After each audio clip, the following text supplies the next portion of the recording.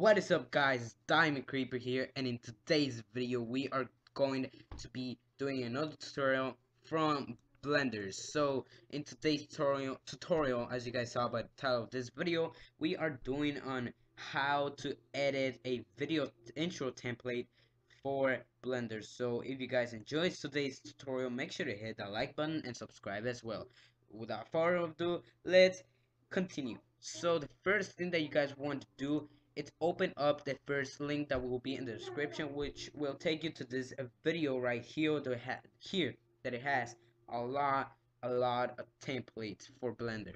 So they're all amazing but they were going to mainly focusing on the number one. And if you guys like this intro i will have the link for this one in the description as well which will be the second link. And yeah so let's get started. So this is the actual uh, intro that I was uh, going to do. You, got, you might have been seeing it from some videos. So let's just click play.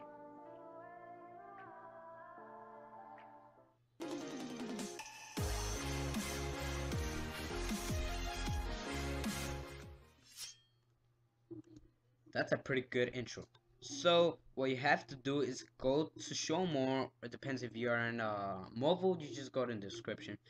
And go to number one, which will be right here. That has a green version and the blue version. So today we're going to focus on the green version. So you just click on it, which will take you to this tab. Download it, but do the direct download so you just don't need to do anything else. So once it's downloaded, you have you must have WinRAR. I mean, if you don't want to have WinRAR, you can just like open it right there or extract it. So if you got WinRAR like me just just bring it up into your desktop and just double click it to open it. Then double click the folder which will actually take to here and double click on the icon with blender. And if you don't know how to get blender i will have the link uh, at the end of this video for or basically the little video right there so you guys can check out that template um that I mean that video from that tutorial on how to get uh blender for free. So with that being said the only thing you have to do is here is just click on um the letters and hit tab. Just delete and put your username or whatever you guys are called. For me it's gonna be DC Creeper or D Creeper whatever you guys want to call me so then click on the bar in the back, which, oh, my bad. Oops. What am I doing? I don't know what I'm doing though. Anyways, uh, I believe you just right click it and click tab again. Just delete it all, rewrite it, and boom, you're done. Like, that's it. Finished but there's only an extra step so you guys want to go to this part of the uh the section right here. So let me just put this here okay let me just put this down. I mean I'm not gonna be needing it so I don't actually need it that much.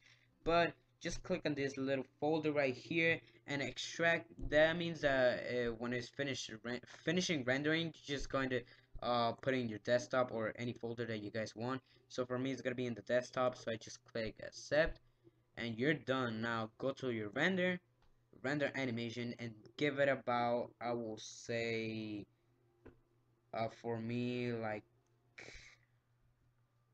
at least in half an hour.